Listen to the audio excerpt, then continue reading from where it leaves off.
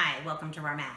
Today I'm doing a series of videos on exponential functions. This video I really want to determine if a function is exponential and then break down the parts of the exponential function.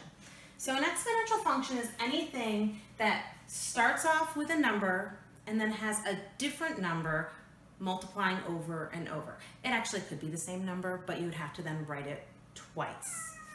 So in this first equation, you notice we have this negative 2, and then we have this 4. They're being multiplied, but the 4 has an exponent of x.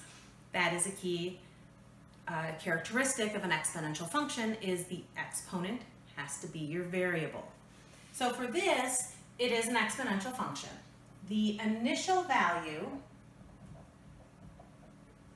where we cross the vertical axis when x is 0 is negative 2. The growth factor, because it's bigger than 1, so the multiplication factor is 4.